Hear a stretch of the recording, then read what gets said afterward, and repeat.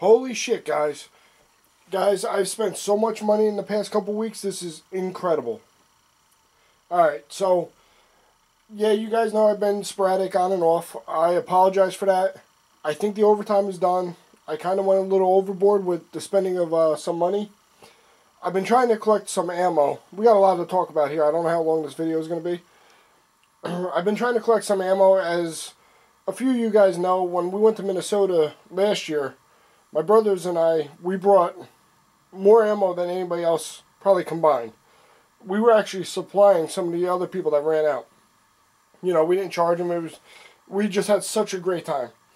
Um, this is all the stuff that I've received well, I shouldn't say received, that I purchased in the past couple weeks. And I don't even know where to begin.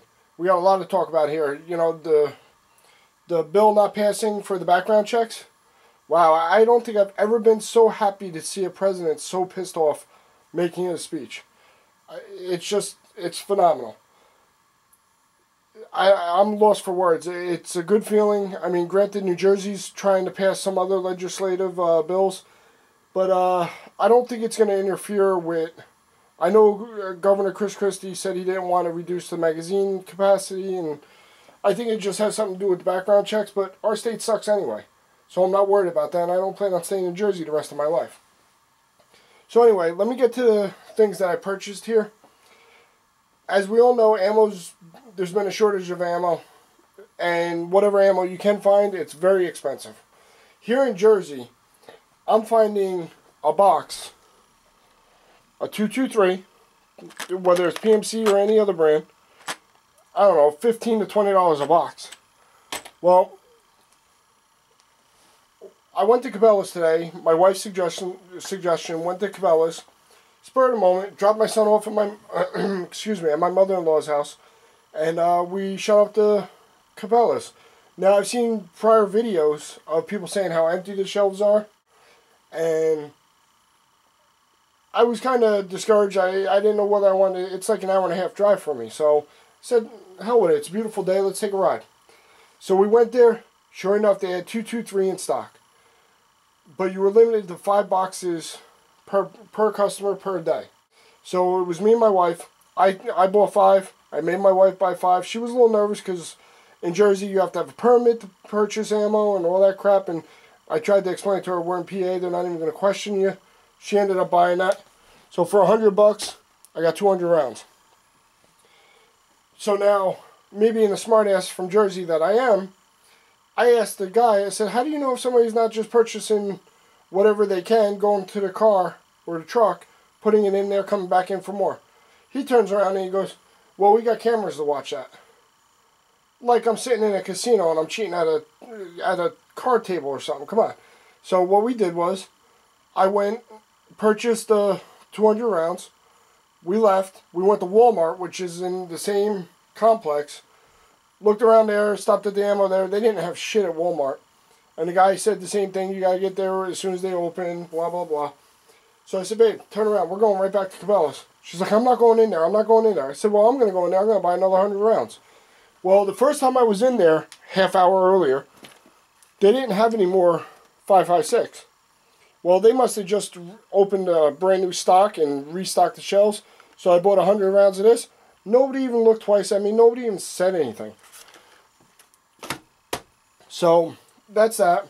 I purchased that today. So I got 300 rounds for 150 bucks. It's it comes what is it 50 cents a round? It's better than paying a dollar a round. That's all I gotta say.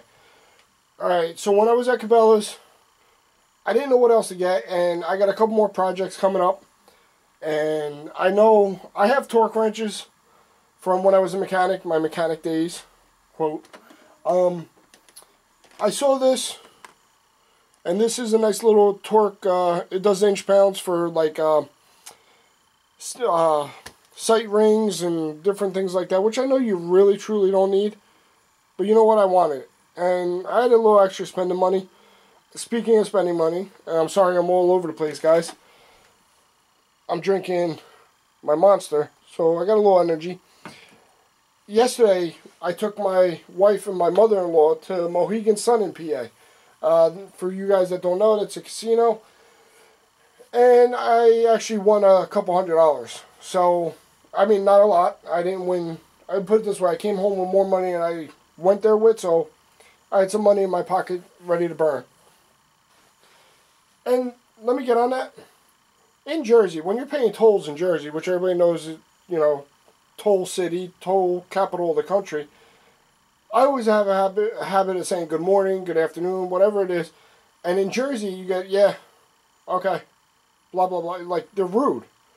Man, when I got into uh, PA and paying, a, you know, the toll just to enter into PA, and you know they're Pennsylvania employees, oh, thank you, sir, you have a wonderful day. You know, they're very polite. It's like, I didn't know how to react. It was like, even the people at the casino, they were totally polite, even, you know, asking questions where certain tables were. Anyway, I just wanted to, I just thought it was funny, guys. It's like I was out of my element. I was ready to fight somebody, and they're all polite to me. So anyway, I got the torque wrench. Again, I know I don't need it. There's a couple items in this box here that that I wanted. You know, like the lower vice block, the upper vice block. I couldn't tell you what that piece is. What's it, hold open the two receivers together? It actually comes with a torque wrench, which I do not need, but it came with the box. It came with, it comes with a new armorer's wrench, which everybody knows from my prior video. This one that I have, this thing's garbage. None of these squares work. I don't care what anybody says. The uh, buffer tube wrench, horrible. It slips. It's only got one little, it's garbage. So I don't know what I'm going to do with that. Maybe I'll just give it away. Somebody else who wants to work, you know, use it or have it. Has a couple punches in it. Believe it or not, this thing was a hundred bucks. I didn't have to spend a hundred bucks on it. Kind of crazy, but like I said, it is what it is. Alright, and on to the bigger and better things. Uh, you guys have all seen my uh, Rock River Arms AR-15. Has a 20-inch chrome line barrel. It's a little heavy to hold there and shoot. You know, as you're standing there and you're shooting. It's not like a carbine, like my brother's Stag. That's a 16-inch barrel, very light, very uh, mobile. The stock is shorter on his. So I'm going to turn my Rock River Arms into a long gun. Uh, I actually purchased Harris bipod. This is the LM series S for swivel. And I purchased two of these. And you may ask why I purchased two of these. In my last video I mentioned that I did purchase another firearm. And I haven't shown it yet because it doesn't come with sights, it doesn't come with a scope, it doesn't come with anything. It's just plain Jane. I didn't want to show it. So in a video, I'm going to put all this stuff on. And you're going to see the firearm. So I got rings, scope rings. I actually got a bore laser. So when I'm at home, I could try and get the sights uh, semi-close, then take it to the range and finish sighting it out. Which I noticed on my Rock River Arms I bought one for the 223. It came in handy when I first uh, purchased the Rock River Arms. I couldn't hit paper worth of shit with that thing. I got this, got it very close. I started hitting paper. I knew where to dial it in. Because I don't have a, um, a range scope or whatever you call those things. I purchased the scope for it. This is a Nikon Buckmaster. I'm just going to show it to you briefly. This was a couple hundred dollars. It's got their new uh, reticle BDC. It's a 40 millimeter. It's a 3 by 9 by 40 millimeter. So I'm excited to use that. And the, the only reason I didn't get anything bigger is I don't think I'm going to be shooting anything longer than, say, 300 yards, if that's at all possible for me here in Jersey.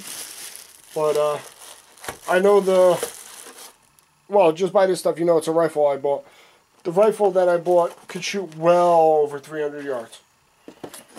But that's for a later video.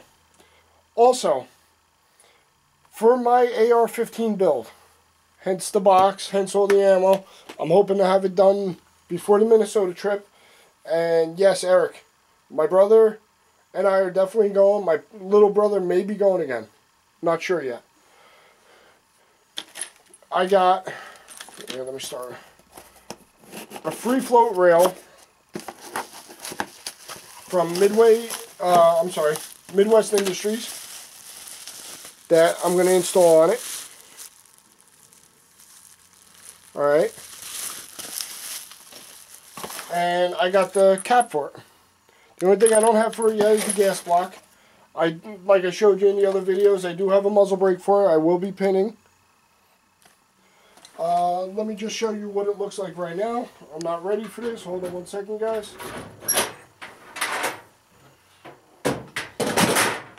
And I'm dropping shit. See, that's the stock. That's what it looks like. Delta rings coming off. Clamshells coming off. A2 front sights coming off. Muzzle brakes coming off. Alright. And I'm hoping to bring this with me to Minnesota. Alright guys, that's basically it. Um, also, my brother, uh, Rob Picot 58, he's actually been purchasing a shitload of stuff for, yes, his AR-15 this time. We're not giving it away. He went out, got a lower. As soon as they shot down the whole um, firearms ban, you know, federally, he went to our local gun shop. Amazingly, they had two AR-15 lowers for sale for 130 bucks. Couldn't friggin' believe it. And he went and purchased it, and now I'm not going to tell you detail. He's changing the colors up. He's not going with the all black rifle. He's going with a certain color, and it's going to be great, guys. So stay tuned. I got a shitload of more videos coming up, especially now that I know I'm going to have some free time. And enjoy, guys. Thank you very much. Oh. Also, I picked up something small. It was a roll, roll pin starter punch. No big deal. I just forgot to mention that. But I think the kit that I just bought from Cabela's, they actually have a couple in there. So that might be an extra one I might end up giving away. I don't know. But, alright guys, take it easy. Enjoy. And I'll talk to you guys later.